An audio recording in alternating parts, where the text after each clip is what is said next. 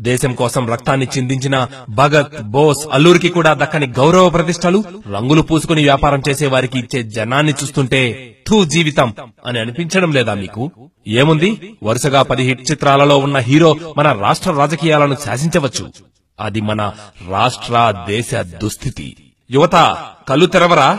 Satakarni Khaidi one fifty ఇవేనా మన తెలుగు గడ్డపై జరుగుతున్న పండుగలు? అసలు పండుగ ముందుంది చూడండి. ఫిబ్రవరిలో తెలుగు గడ్డపై ప్రపంచం చూడబోతోంది. అది నిజమైన పండుగ.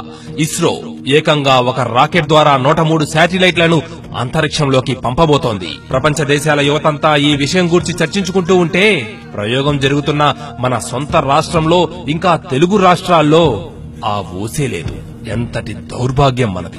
దేశానికి పేరు తెస్తూ దాదాపు పదహైదు వందల కోట్ల రూపాయల ఆదాయం తెస్తున్న ఇస్రో శాస్త్రజ్ఞుల ఘనతపై మనం సంబరాలు చేసుకోవాలి. యువత ఇటువైపు దృష్టి పెడితే వారి సాంకేతిక పరిజ్ఞానం కూడా పెరుగుతుంది. తల్లిదండ్రులు అధ్యాపకులు ఉపాధ్యాయులు దీనిపై ఆసక్తి పెడితే భవిష్యత్తులో మన పిల్లల నుండే అబ్దుల్ కలాంలు ఉద్భవిస్తారు. ఇలాంటి విషయాలు యువతలోకి మరింత వెళ్ళాలి. పోస్టర్లు వీటికి తయారు చేయండి. బ్యానర్లు వీటికి కట్టండి. దేశ ప్రయోజనాలు కోరుకునేవారు నిజమైన దేశభక్తులు ఇటువంటి విషయాన్ని పదుగురితో తప్పకుండా పంచుకుంటారు. ఈ విషయాన్ని వింటున్న మీరు పదుగురితో ఈ సమాచారాన్ని పంచుకుంటారో లేక మిన్నకుండిపోతారో మీ ఇష్టం.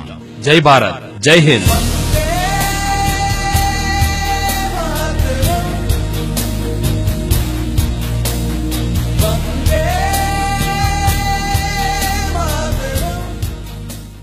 దేశం కోసం రక్తాన్ని చిందించిన